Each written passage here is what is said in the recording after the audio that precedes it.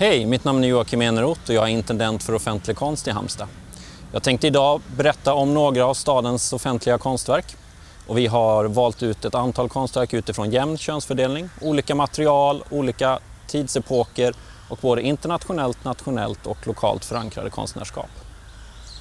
I Halmstad har vi årligen en och en halv miljon till nya offentliga konstverk. Dessa fördelar vi utifrån en långsiktig plan som vi gör tillsammans med andra förvaltningar och vi prioriterar barn och ungas miljöer som skolor och förskolor. När vi också placerar ut nya konstverk vill vi också ha delaktighet och samarbeta gärna med barn och unga i den miljön där konstverken ska finnas. På statlig nivå och i flera kommuner så arbetar man med det som kallas för enprocentsregeln. Det innebär att man avsätter 1% vid nybyggnation och ombyggnation eh, av fastigheter, torg och platser. Eh, Halmstad hade tidigare 0,5 procent och det är en stor anledning till att vi har mycket offentlig konst i vår stad. Ett offentligt konstverk kan vara allt från ett, en markbeläggning, integrerad del av en byggnad eller mer klassisk skulptur. Och begreppet vidgas hela tiden och nya former och nya uttryck eh, fylls på. Graffiti är en stor del av den offentliga konsten idag men även eh, performancekonst och processbaserad konst. Då tänkte jag nu att vi skulle börja titta med, på ett konstverk i Norrkatts park. Nu står vi här vid Lena Kronqvist, eh, Flicka i balja. Konstverket är ett porträtt av henne själv som sitter och badar i en badbalja och blickar ut mot Nissan. Eh, placeringen är vald med omsorg och också utifrån den här trädallén som tidigare var betydligt större men eh, fälldes av stormen Gorm. Nu har träden återplanterats och återigen skapa det här rummet runt skulpturen som är väldigt viktig för att hon inte ska känna så ensam och naken i sin placering. Tidigare i historien har man gärna ställt skulpturer på en sockel för att neutralisera det från sin omgivning. Eh, men konsten har, den offentliga konsten har allt mer och mer velat bli en integrerad del av den platsen där den finns som en del av kontexten. Lena Kronqvist ses av många som en feministisk konstnär då hon skildrar flickor som gör saker och är aktiva och också har makten över hur de avbildas. till skillnad från historiskt där det oftast var män som har avbildat kvinnor och flickor i den offentliga konsten. Lena Kronqvists skulptur har blivit en av stadens allra mest omtyckta vilket också man kan se på knäna och på huvudet på skulpturen där många barn klappar på sin kompis här i parken som också ligger alldeles intill en av stadens mest omtyckta lekplatser. Skulpturen köptes in i samband med att Lena Kronqvist ställde ut på Mjällby konstmuseum och det var så den kom hit. Nu står vi på Storgatan precis intill Storgatan 48 där Klara Johansson föddes. Klara Johansson var en författare och litteraturkritiker och också den första kvinna i Halmstad som tog studenten. Konstnären Camilla Lukasiewicz har skapat en hyllning till Klara Johansson genom att avporträttera hennes fåtölj Fåtöljen är i betong och uppvärmd precis som att Klara nyss har rest sig ur fåtöljen. Traditionellt kanske det är mer vanligt att man hyllar en viktig person genom att avporträttera dem på en byst eller liknande. Men Camilla Lukasiewicz här har valt att skapa just en fåtölj som en symbol för intellektuella och eh, läsande och hemmets trygghet. Skulpturen är också väldigt, väldigt omtyckt. Vi ser nästan alltid folk som sitter i den här året om då det är värme i sitsen. Intill fåtöljen har Camilla Lukasiewicz också skapat en läslampa för att skapa den här rumsligheten. Rummet som Klaras fåtölj står i har förändrats. Tidigare fanns det planteringsbäddar här och Peter Mandels fyrvaktare stod också här som skapade en rumslighet. Och så är det i det offentliga rummet. Konstverk kommer till i en kontext men förändras och påverkar också då givetvis uttrycket av fåtöljen. Klara Johansson föddes 1875 och under sitt liv så levde hon öppet tillsammans med andra kvinnor och bröt också mot normen och klippte håret kort och klädde sig i det som kan ses som typiskt manliga kläder. Klara Johansson är också hyllad på flera andra platser i Halmstad genom Klarasalen, Klaraskolan, Klaragymnasiet för att nämna några. Men nu går vi vidare. Nu står vi här på Stora torg i Halmstad och vid det som kanske ändå får anses vara Halmstads mest kända konstverk, Carl Milles Europa och tjuren. Skulpturgruppen har stått här i nästan 100 år. Den kom på plats 1926 och bygger på den mytologiska berättelsen om guden Zeus som kidnappar prinsessan Europa och tar henne till ön Kreta. När skulpturen kom på plats så var det många som chockerades av de nakna tritonerna, framförallt på söndagar när invånarna i Halmstad skulle gå till kyrkan. Idag finns det andra sätt att se på den. Man kan också tolka kidnappningen av Europa som ett slags sexuellt övergrepp. Men det är en mytologisk berättelse och den är också öppen för olika tolkningar. Carl Milles har också jobbat mycket med de tunga materialen som brons och sten i förhållande till luft och vanligtvis då vatten som ska finnas i fontänen.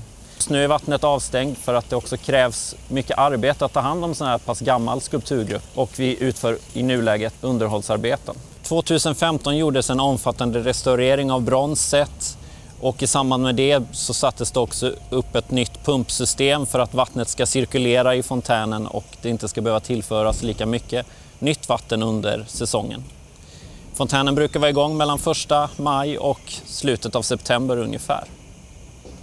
När fontänen också sattes på plats så hade Carl Milles gett tydliga instruktioner om planteringar och träd runt omkring eh, torget. Men även här, precis som vid de andra skulpturerna vi har pratat om, har platsen förändrats över åren och så även Europa och tjuren. Nu har vi kommit fram till Slottsparken och till Snigolofon. Många brukar kanske skratta till när de hör titeln på konstverket Snigel och Fån, men det bygger helt enkelt på formerna i skulpturen. Dels den gamla kvarndelen och dels tratten då som tillsammans bildar snigel och megafon. Megafon hänvisar också givetvis till att detta är ett konstverk med ljud i. Och ljud kan vara väldigt känsligt och eh, påverka människor på olika sätt. Snigelofonen stod tidigare inne i Halmstad rådhus, men någon, vi vet inte vem, drog ständigt ut sladden så att konstverket tystnade. Därmed bestämde vi tillsammans med konstnärerna att flytta ut konstverket till Slottsparken. Och I samband med det så gjorde konstnärerna Mikael Eriksson och Julie Eriksson också om tratten som fick en större form men även ett helt nytt ljud anpassat till just denna platsen och det som finns runt omkring här. På sin nya plats så måste ljudet och skulpturen förhålla sig till dels kyrkklockorna och vägen som går förbi och dess trafik. Och att då också hitta rätt ljudnivå eh, var ett laborerande tillsammans med konstnärerna. Konstverket är på från sju på morgonen till åtta på kvällen. Konstverket gjordes ursprungligen 2011 till sin placering inne på Rådhuset men flyttade ut i det gröna 2016 och invägs i samband med Kulturnatten.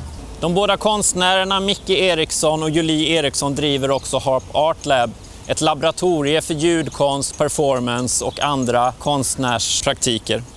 Om de tidiga skulpturerna vi har pratat om förhåller sig till platsen i form så kan man säga att snigolofonen förhåller sig till sin plats genom sitt ljud. Att också lyssna på snigelofonen samtidigt som man lyssnar på resten av staden gör att man faktiskt blir medveten om hur sin stad låter och omgivningen låter. Och precis nedanför snigelofonen finns också en parkbänk så prova på att slå dig ner någon gång och lyssna på din stad och konstverket.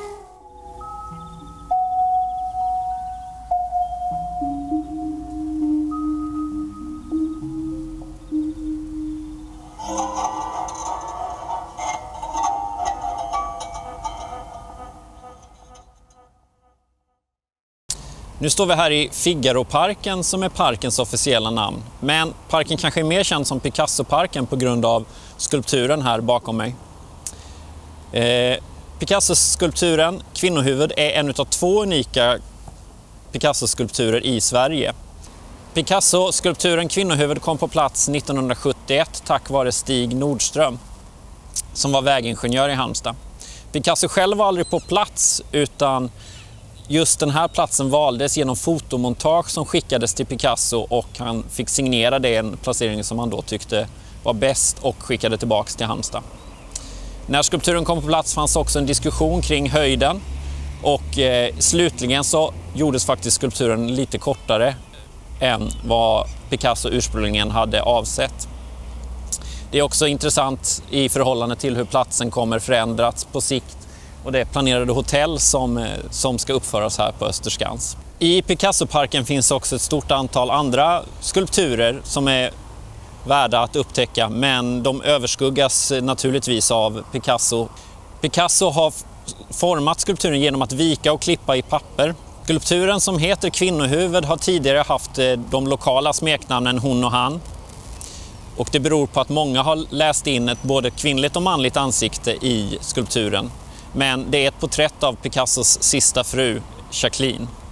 Så nästa gång du är i Picassoparken, titta gärna dig omkring på de, även på de andra skulpturerna och se även om du kan hitta Halmstads mest dolda konstverk som förhåller sig till Picasso-skulpturen på ett alldeles särskilt sätt. Nu står vi mitt emot Stadsbiblioteket och Halmstad konsthall intill Carolina Falkholts Pi. Carolina Falkholt deltog på en utställning på Halmstad konsthall 2013 och såg då väggen mitt över gatan och frågade om hon kunde få uppföra en graffitimålning där. Och eh, tillsammans med fastighetsägaren HFAB så ordnade vi givetvis det. Carolina Falkholt är en av Sveriges och kanske världens mest kända graffitikonstnärer. Eh, graffitivärlden är ganska mansdominerad och eh, Carolina Falkholt har själv kallat sin praktik för graffitta för att påpeka just detta. Pi föreställer en hand med två uppsträckta fingrar som dels refererar till matematiska talet pi men också till ett förstärkningstecken inom svensk teckenspråk som betyder jag gillar verkligen graffiti. Carolina Falkholt jobbar ofta med olika kroppsdelar som en hand här eller öron. Eh, men kanske mest känd är hon för sitt arbete med snippor. På Söndrumsskolan utförde vi också ett stort graffitiverk där 23 graffitikonstnärer deltog och det blev en viss diskussion om Carolina Falkholts del där hon hade målat en snippa på skåpen. Eh, den debatten dog slutligen av att eleverna på skolan sa att ni vuxna kan ta och sluta diskutera vår konst för att vi, vi älskar det här och vi vill ha det kvar. När Carolina Falkholt målar snippor på bland annat skola utgår hon ofta från sina egna erfarenheter av hur det är att vara ung tjej och de ord, fula ord som man ofta får skriket efter sig som hora och fitta i olika sammanhang. Eh, I samband med att Söndrumsskolan och den här väggmålningen så påbörjades också ett arbete med muralmålning i Halmstad. De senaste åren har det uppförts ett antal nya street art-målningar i Halmstad. I genomsnitt en per år. Eh, så det finns mycket mer att upptäcka utöver den här när ni promenerar runt i Halmstad. Tack för att ni har lyssnat på denna introduktionen till några av Halmstads offentliga konstverk. Är ni intresserade av att veta mer så har vi en informationspunkt utanför Halmstad konsthall där ni kan hämta konstkartor och få reda på mer. När Halmstad konsthall är öppen har ni också möjlighet att fråga personalen som sitter där om det är någonting ni undrar eller vill fråga. Tack för mig!